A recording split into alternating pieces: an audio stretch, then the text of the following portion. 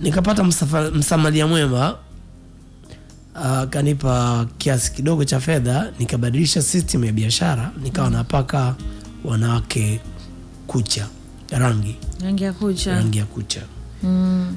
na kuwasugua miguu na vitu kama hivyo. So katika kufanya hiyo kazi ambayo nimeifanya ya kusugua wanawake na kuwapaka rangi mwaka elfu mbili na mbili ndo nimekuja kukutana na mama hajira ambaye nimezaa naye mtoto wangu watatu okay. ya kutana na mama hajira.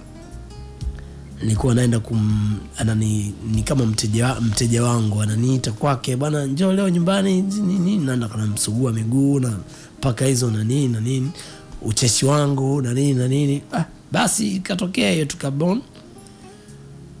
Unakaa wapi? Ambia bwana mimi sasa hivi niko kwa washikaji zangu tuna vitu kama hivyo. Akaniambia basi kama vipi? Kwa sababu mi home hapa kuko free nibidi basi uje hapa mm. kaambia alright basi ngoja nijifikirie mm. lakini wakati namwambia nijifikirie sina pa kulala mm. ni mtu ambaye anafanya biashara zangu ikifika jioni kuna kibaraza cha watu kuna brother mmoja cholo mm. ndo nilikuwa nalala kibarazani kwao ilala bungoni Cholo Ganuni yeah.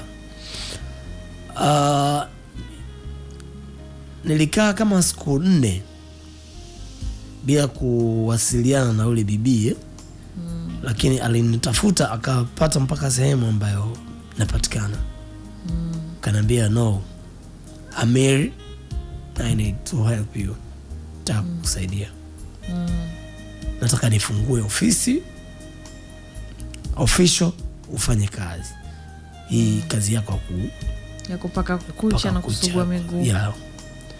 Ah, ni kweli mama hajira alifanikiwa kufanya hivyo kufungua ofisi na mimi ndo nikawa niko ofisini. Lakini kadri siku zinavyozidi ana- anani anani draft anani ananibadilisha anakuja na nguo bana faa hivi. Kwa sababu hata kwa kuoga nilikuwa naoga kwa siku mara moja nikioga asubuhi nimetoka. Lakini mpaka ratiba ya kuoga ilikuwa nabadilishwa bana sasa hivi ibidi uoge asubuhi uoge mchana uoge sasa hivi utavaa nguo hizi utafanya nguo hizi ile pensi yako ya ndani hivi na hivi na hivi na hivi.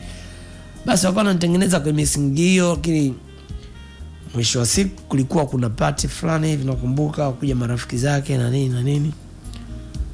Uh, sikuwahi kunywa pombe yeah, siku hiyo nilikunywa pombe na mahusiano yalianzia pale. Ukajipindua tena. Ukajipindua nikajipindua tena. Watatu. Eh, yakapatikana watatu. Mliachana vipi? Uh, si nisemeje. Ujue nyii watoto wa kike mkipendwa na mwanamme mm. mnashindwa kuzuia zile hisia zenu kuambia marafiki zenu kwamba da bwana jamaa ananipenda sana. Mm. jamaa yuko vizuri kwenye tendo la ndoa. Jamaa yuko nini.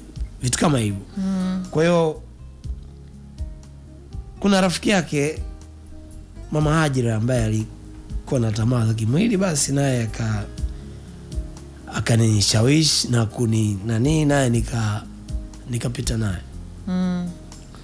na katika kupita naye na rafiki wa mama Hajira eh, nikatembea na rafiki mama Hajira. Eh, hiyo ni uruka yako then Ah, no. you're not to be trusted si Ah, no, no, no, no, no. yeah No.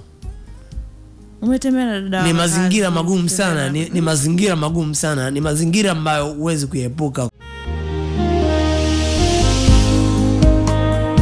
Lovey Dovey.